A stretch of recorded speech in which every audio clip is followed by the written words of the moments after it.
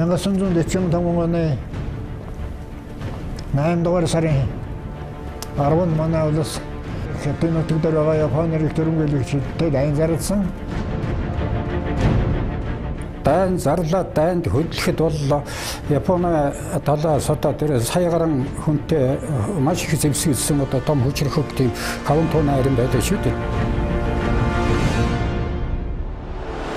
Энэ чөлөөлөх дайн бол одоо дэлхийн 2 дугаар дайны төгсгөл өгөөд дэлхийн олон улс гүрнүүдийн одоо хувь заяаг маш эергээр шийдвэрлсэн юм одоо шудраг дайм, ариун дайм байна.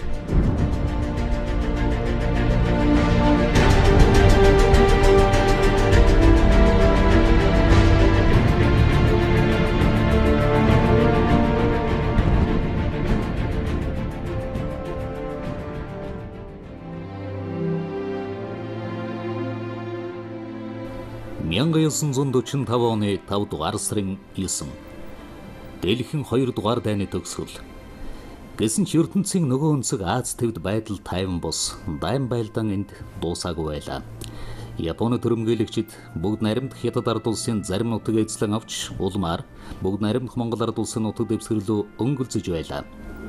1945 оны 7 дугаар сарын 26-нд Америк нэгдсэн улс, Их Британи бүгд наримт хятад ард улсаас өгсөн үг дуугүй бууж өгөх тухай тулгын шаардах бичгийг Японы засан газар үл ошоосон дайныг үргэлжлүүлэх зөвлөлт холбоот улс бүгд наримт Монгол ард улсад довтлох худалдаа байгааг харуулсан хэрэг байлаа. Иймд зөвлөлт холбоот улсын засан газар Кремийн баг хурлаар хүлээсэн үүргийнхэн дагуу 1945 оны 8 дугаар сарын 10-нд бүгд наримт Монгол ард улсын засан газар империалист Японы эсрэг дайн зарласан байна.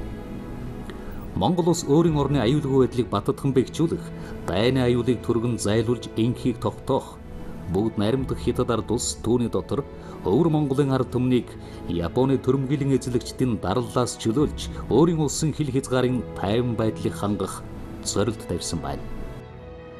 А манай Монголын хилжтийн хувьд бол 1935 оноос 1945 оны хүртэл 10 жил улсын хил дээр тэр одоо Солон хэрийн орчмоос эхлээд даруухан тохон овоо хүртэл 2000 гаруй километр улсын хилийн зааг дээр Японы төрөмхөлөгчтэй дэмжсэн тэмцлийн төгсгөлийн одоо ийм шат болсноор их онцлогтой байсан. Хилийн цэргийн зүүнтад энэ 8 метрээр орсон гэж ярьдаг. Тэр 8 метрээд бол ердөө ардын нэг зөвлөлтийн ангууд Монголын ардын армийн ангууд байсан тэдний даалгавраар за та нар цаад хэлихээс таа удаг уцсах. Хамгийн түрүүн буудаг уснуур хилийн цэрэг юм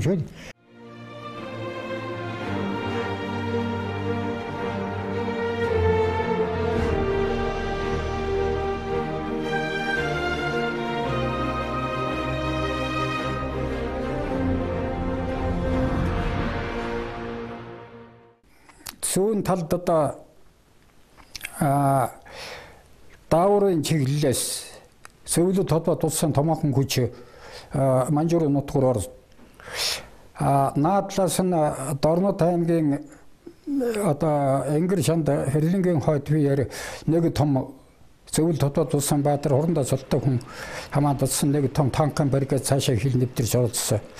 Тэгээд тэнд бол нөгөөх гадаадаас юм уу дотоодоос гарч байгаа зэвсэг төчний хүч хөрөлд хүн их чигжүү савн тууны армийн байрлалын гол чиглэл байсан учраас л бол их чигжүү оролцсон.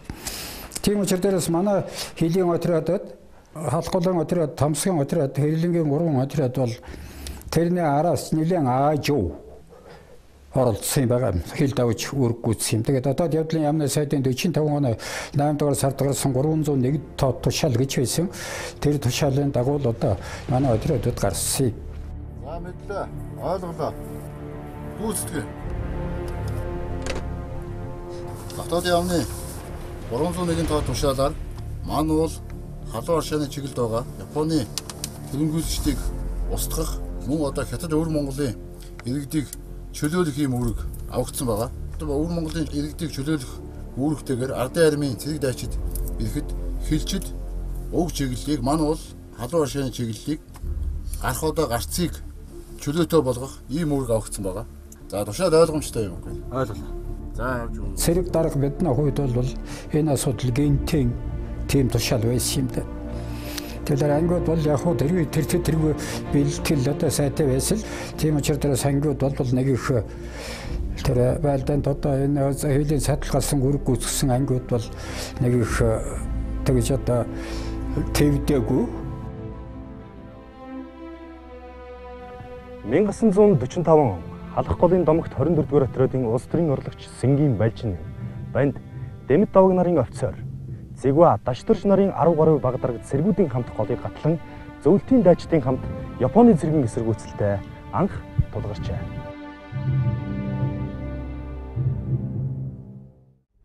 Тэндээс Чогдонгийн групп, Хайлар хот, Балжинимын групп 5 хэсэг хуваагдсан улмаар Чулуунбаатарын удирдсан өмнө чиглийн хэсэг Вангийн сүм хүртэл байлдааны үүрэг гүйцэтгэж Японы цэргийн үлдэгдлийг илрүүлэн цохилт өгөх, тагнуулын төр хорог сонгож байгуулах, дайны хөлдөрдсөн аж ахуйн эмхлэгт нь ард иргэдэд тусалсаар иржээ.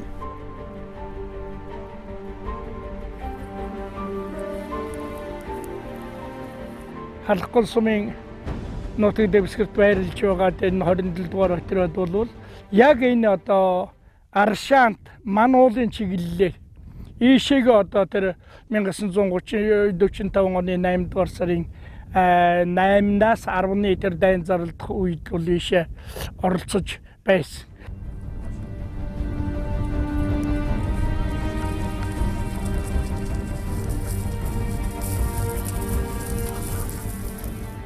Сайдын тушаалаар отрядын дарга Пунцгийн чогдон улс төрийн урлагч Сэнгийн Балжин нэм нарын удирдсан 100 гаруй хүний бүрэлдэхүүнтэй хоёр групп хайлаар халуун аршаан Солон хотын чиглэлд байлдааны ажиллагаа явуулсан байна. Тэдгээр групп нь халуун аршааны төмөр замын дагуух газар нутаг Янгны хойд нурууны ураад Баргын нутагт хүрчээ.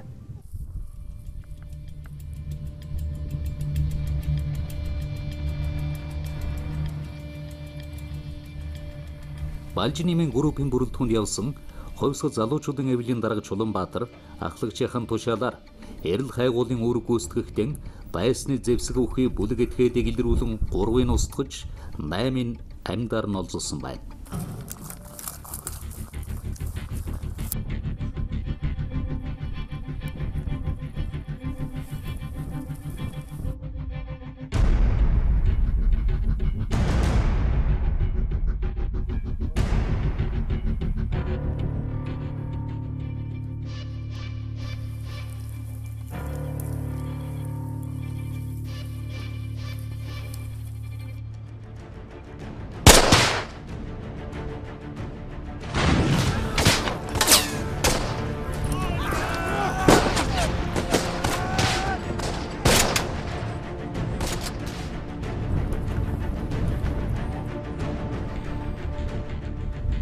Тухайн үед отрядын дарга хуршууч Пунцгийн чогдонгоор ахлуулсан бүлэг хайлаар солон хотуудыг чөлөөлөх энэ одоо үүрэгт Монголын ардын арим буюу зөвлөлтийн улаан армийн өмнө зам заах, чиглүүлэх, толгойн сэргийлэх болох ийм үндсэн үүрэгтэйгээр энэ одоо дайнд оролцсон юм аа.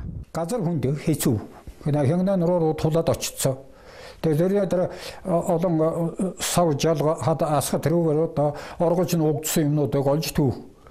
Тийм учраас тэр хоёр тишээгээ тасраад чогдон нэг хэсгийг аваад тэр хянган руу цаад руу төмөр зам руу хайдрын төмөр замын чиглэл рүү балжин юм нь хянган руу наагур урагшаага явж тэр үүргөө гүйцэтгсэн юм байна.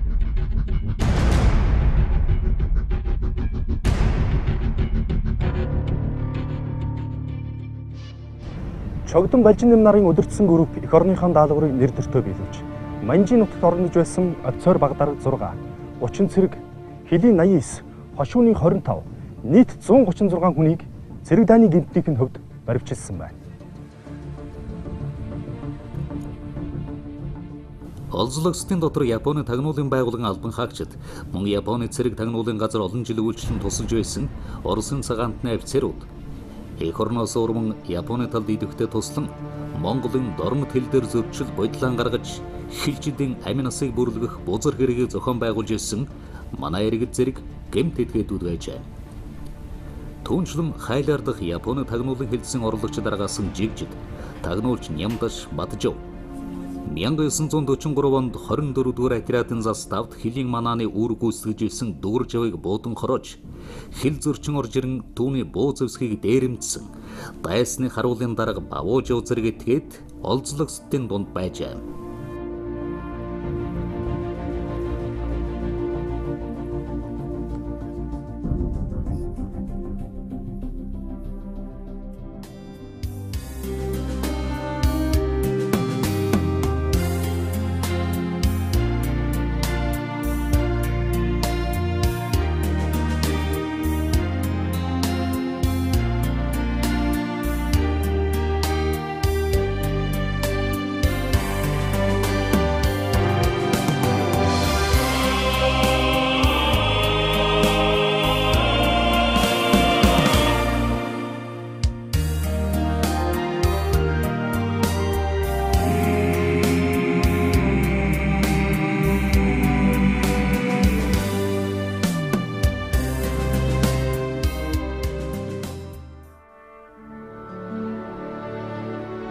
Хилийн техник 132 дугаар анги буюу тухайн үеийн 31 дугаар отряд нь 1939 оны халах голын дайн 1945 оны чөлөөлөх дайнд оролцож цэрэг улс төрийн цагийн байдал хурцдсан он жилүүдэд төр засаг ард түмнийхэн өмнө хүлээсэн тангараг дүүргэн нэр төртэй биелүүлж ирсэн байчин хам толон. Эх орныхон төлөө халуун ам бүлээн цусан үл хайрлан тэмцэж баатарлаг авьяа байгуулсан олон арван эрэлхэх хилчин энэ лангаас төрсөн юм.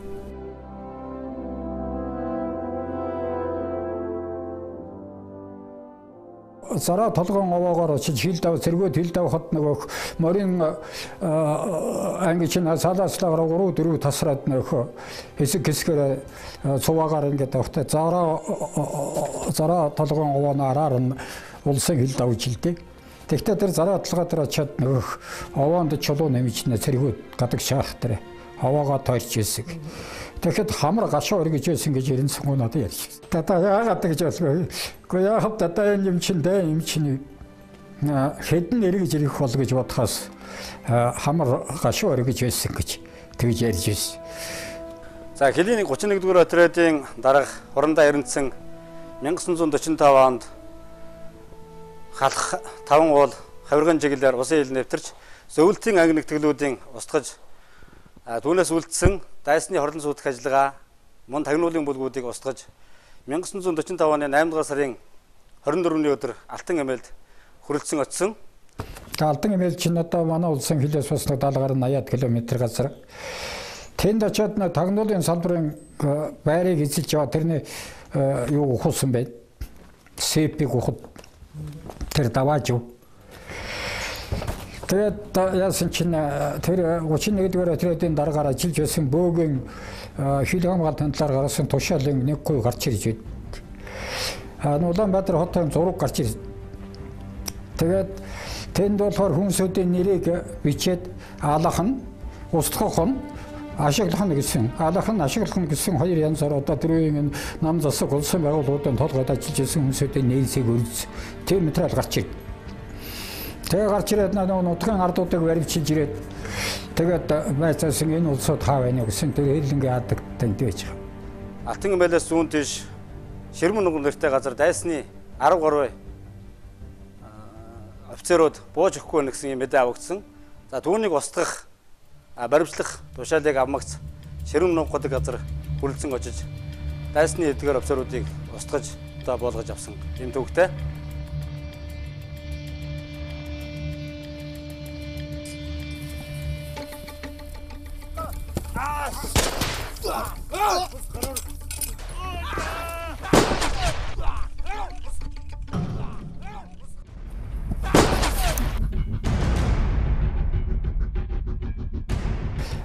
Дөрвөн Япон офицер байсан билээ.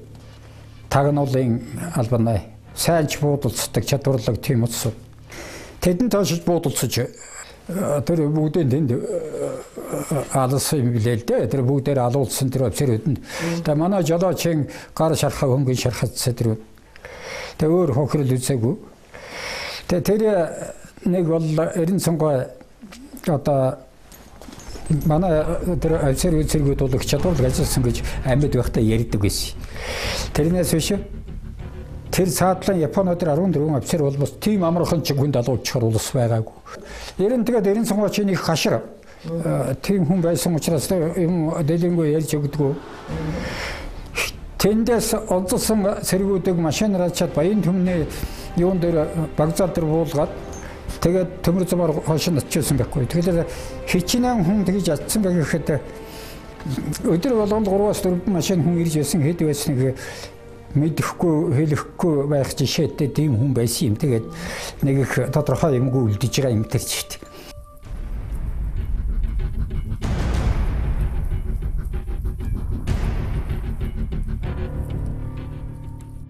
А тамсагт байрлаж байсан хөлийн 27 дугаар отроод бол өмнөд бүлэгт Өөрөөр хэлэх юм бол Сүхбаатарын наатлаар одоогийн Эрдэнэ цагаан сумын чиглэл одоо Шилийн гол аймгийн зүүн хушууны чиглэлээр л орж байна.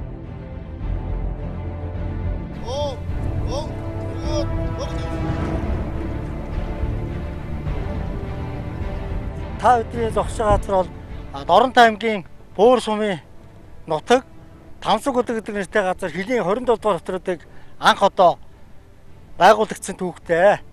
За бидний харж байгаа одоо энэ урд хүндэд зөвлөлтүүд улсын 57 дугаар ковши 11 дугаар дивиз үе ахлах цэцлэгч Бакогоор өдөрдүүлсэн танкийн дивиз одоо энэ манай энэ 27 дугаар отруудын туурээс энэ чиглэлд одоо баруун гарт талын чиглэлд байрлаж ирсэн байна. За мөн одоо Монгол ардын ховсгол цэргийн 6 дугаар март дивиз 45 оны чөлөөлөлттэй анд одоо голлог үүргийг одоо энэ дивизүүд А мөн манай 27 дугаар отрядын тусгай группүүд оролцож одоо чөлөөлөх танд оролцсон ийм түүхтэй.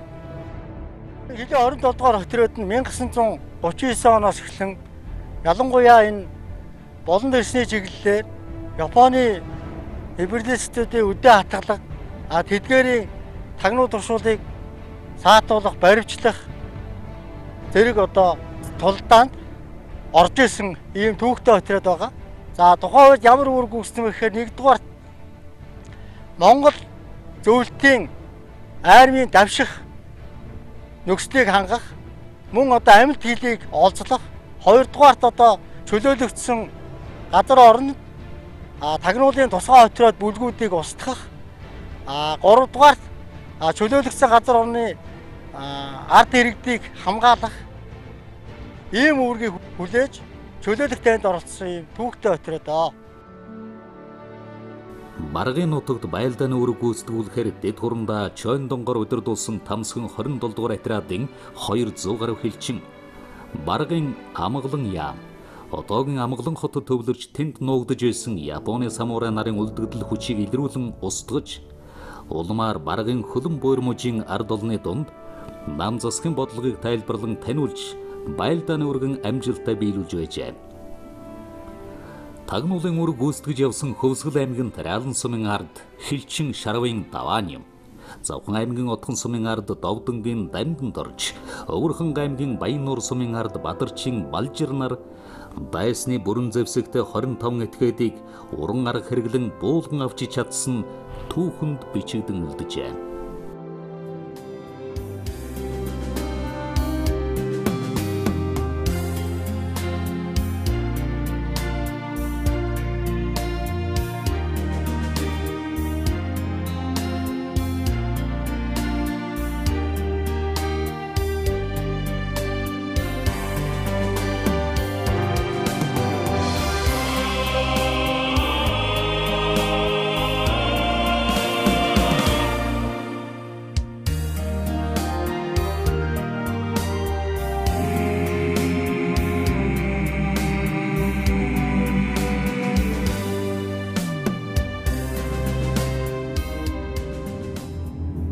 За ер нь энэ хөлийн цэргүүдийн энэ одоо тэр байлдаанд оролцож исэн гол зорилго нь юу байсан гэхээр а Монгол улсын хил дээр одоо байсан өөрөөр хэлбэл 39 оны халдварын дайныг үзсэн нилээ туршлагдсан одоо ийм дайчтай удирдгуутай учраас а энэ газар орны байдлыг л сайн мэдчихсэн. Уул ус хаан намаг шавартай хаагуур нь машаа явах уу тийм ээ. Шүн хаагуур нь явж болох өдөр хамгийн өндөр харцтай газар нь хаана байх вэ гэд. Энд л бол яа энд өөрөөр бол толгоон сэргийлэхийн үүрэг гүйцэтгэж тагнуулын үүрэг гүйцэтгэж. За мэдээж одоо эн чинь Дальний Востокоос эхлээд одоо Баашин хүртэл одоо 1000 гаруй километрийн өргөн фронтоор одоо хятадын нутагууд чөлөөлөх тайны энэ өргөн фронт ороход а хөлийн цэргэлвэл хамгийн ихний одоо толгоон сэргийлэхийн үүрэг гүйцэтгээд тэр фронтын одоо өргөн давшилтыг явсны дараагаар ар талд нь хэсэг бүлэг этгээдүүдийг илрүүлэх. Тэр дайн тулалдаануудаас одоо айж дөрвсөн одоо өвөр монголчуудыг хэвийн амьдралд нь оруулах. Уул ус дайжиж явсан газраас татаж авчрах. За мөн одоо дайсны хорлон сүйтгэх ажиллагаа энэ тэнд үлдсэн хэсэг бүлэг одоо тэр зэвсэгтэй тэмцэгчдийг бол дарж устгах ийм үүргийг гүйцэтгэж байсан. Эх орныхон тусгаар тогтнол газар нутгийн төлөө гавьяа байгуулан тулдсан Отродын дарга хошууч Пунцгийн чогдонг сэргэн гавьяаны хүндэт одонгоор Улс төрийн орлогч Сэнгийн Балжинэм Жамин нарын 6 хүнийг Алтан гац содонгоор олон арван хилчдийг байлдааны медаль, хөдөлмөрийн хүндэт медаль, засгийн газрын хүнд түнлэхээр шагнаж өгмөшүүлсэн байна. Ом он улсынхаа тусгай тогтносон байдал.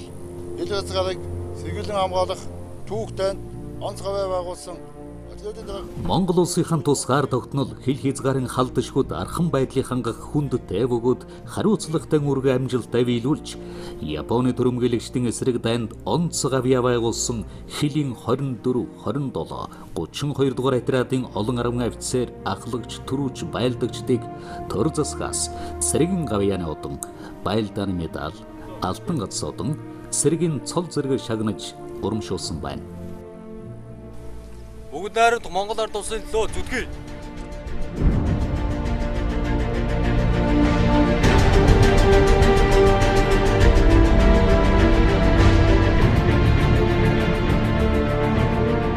Чөлөөлөхтэй гэдгийг одоо дайны тодтол чөлөөлөх гэдгийн утга учир бол асар их юм л да. Өөрөөр хэлэх юм бол Орос улс Монгол улс хоёр энэ бүгд найрамдах өнөөдрийн бүгд найрамдах дард улсыг л энэ Японы дарлаас энэ Аз твийн улс орнуудыг одоо Японы тэр дүрмгэл дарлаас нь чөлөөлсөн энэ дайн. Тийм учраас одоо чөлөөлөхтэй гэж хэлж ярьж сонссон.